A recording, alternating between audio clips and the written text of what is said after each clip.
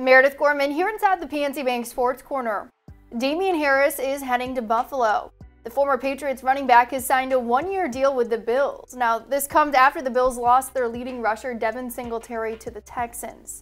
26-year-old Harris has played in 38 regular season games for the Patriots, notching 449 rushes for 2,094 yards and averaging 4.7 yards per carry and 20 touchdowns. PNC Bank helping to make banking easier.